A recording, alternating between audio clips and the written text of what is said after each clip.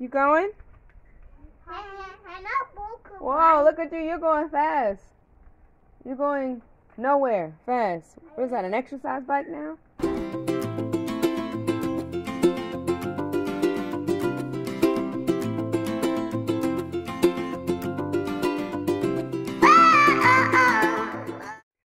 How you guys doing? This is Lynn from Puerto Rico. We are coming to you from Guavate.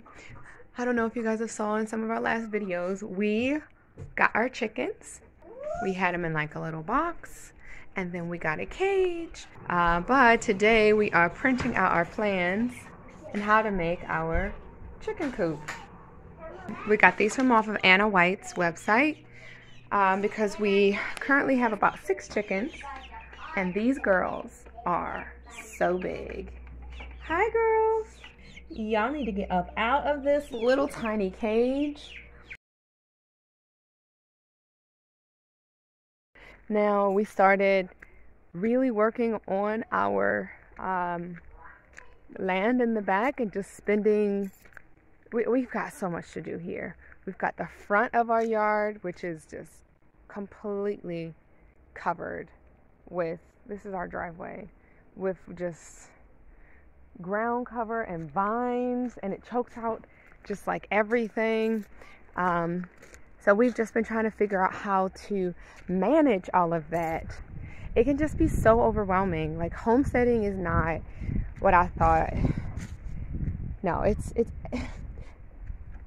the way we're homesteading is not the way I had imagined it to be.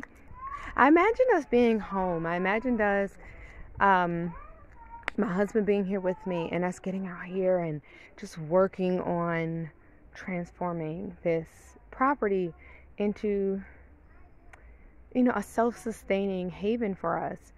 And hmm, you know when you tell god what you want to do he laughs.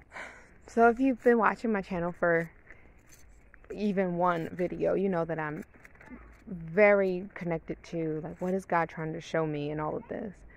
Um, and, you know, maybe it was just slow down. Slow down. We've always been moving, moving, moving, and we've done just so much in such a short period of time, and we can have some serious burnout. This property is not very big compared to some of the other people that we see. So we're trying to start moving a little bit slower and breaking up the property into into zones, right? So zones already. Yeah, it's 12 zones. I'll have to give you guys like a, a I don't know, maybe a testimony or kind of a journey. How do we get here? Why am I making this video? I think I okay, so I started to make this video to let you guys know that we are building our chicken coop. We have 6 chickens. We're doing the A-line thing, and I'm heading out to the hardware store, which is called a ferreteria here um, to get some chicken wire. And one of the things that I thought was most interesting about like not being in America is how much more expensive your timber and lumber costs are. Like it's insane. It was almost double for us to get what we got compared to what people were getting in the States. So that eye opening just kind of reinforced to us that we really need to look into alternative ways of building. We need to take more advantage of the resources that we do have on the land.